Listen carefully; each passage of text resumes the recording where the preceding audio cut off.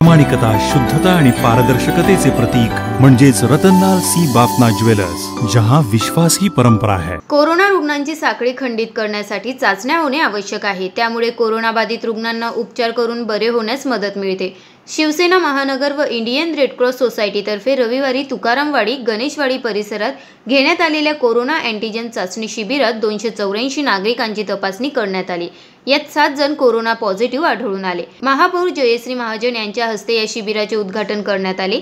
यावेळी पालकमंत्री गुलाबराव पाटील शिवसेना जिल्हाप्रमुख गुलाबराव वाघ माजी महापौर नितीन लड्डा विष्णू बंगाळे शरद तायडे युवा शक्ती फाउंडेशनचे संस्थापक विराज कावडिया सुनील महाजन गनी मेमन विनोद बियानी प्रशांत नाईक यांची उपस्थिती होती. ज्या नागरिकांना कोरोनाची सौम्य लक्षणे जाणवत आहे त्यांनी ही टेस्ट करून घेतली.